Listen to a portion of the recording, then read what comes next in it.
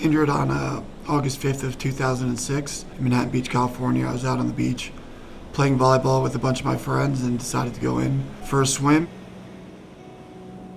As I dove in, I went head first and uh, basically just ran straight into a sandbar and a direct impact with the top of my head.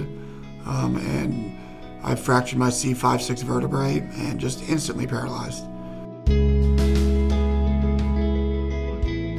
I could not move anything. There was no pain, but before I knew it, I was just floating on my back and uh, waves were crashing over me and I was just taking deep breaths to hopefully stay afloat and uh, waited for somebody to come find me.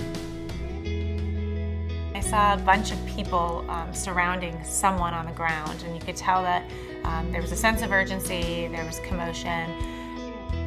All I saw were his legs and recognized them immediately. He's really big guy, six foot four, very athletic, really um, solid build. I dropped my bag and I just took off. He was talking and he looked fine to me. In my mind, I was thinking, okay, so we'll be in the hospital for you know a little while. He'll be fine. And I guess that was maybe a coping mechanism that my mind tricked me into. So we get to the hospital and they immediately take him in for a CAT scan and they leave me in the hallway. And I'll never forget a, um, a female doctor, um, her saying to me, we don't know yet, we're still putting him through the CAT scan, but you need to be prepared for him to never walk again. And then her walking away from me with those last words, that you need to be prepared for him to never walk again.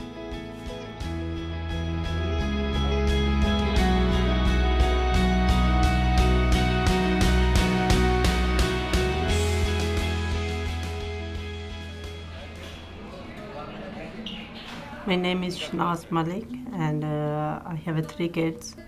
And uh, Hussam is the youngest one.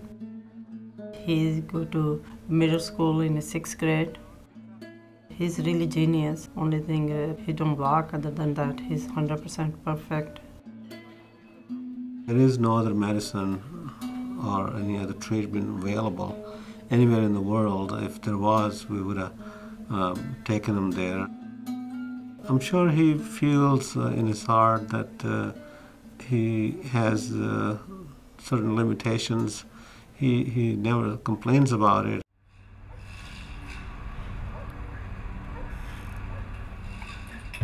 I'm Hussam Malik. I'm 12 years old and I live in California. I live with my family, which is my brother, my sister, and my mom and my dad. I like to play video games a lot. What 12 year old boy doesn't? And um, sports. Baseball and basketball are my favorite sports. My parents are from Pakistan. My dad's been here for, I think, over 25 years, and my mom less than that. I think my dad's more westernized than my mom, though. Last year, like I injured my knee, right? And I had to get knee surgery. And when I had that, I kind of realized like how difficult it is and you have to ask people for things, you know? You can't get up and just run and get it. This is, might be how he feels, but I'm only feeling it for a little while, you know? You need to be thankful for what you have and every day is pretty much like blessed that you're able to do everything that you're able to do.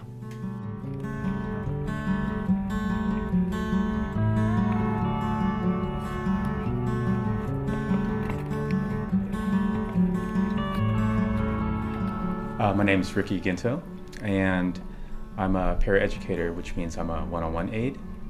Um, so it's been my third year with Hussam. I started with him when he was in fourth grade. This campus has a lot of hills.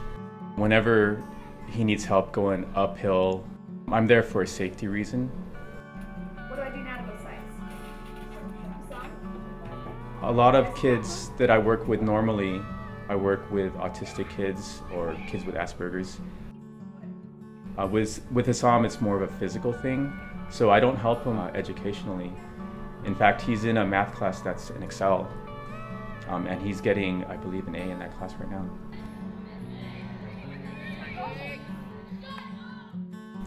At times, I do see Hussam getting frustrated, some things that he can't do. I know last week they were doing the long jump where they run in stride and then jump into a pit of sand.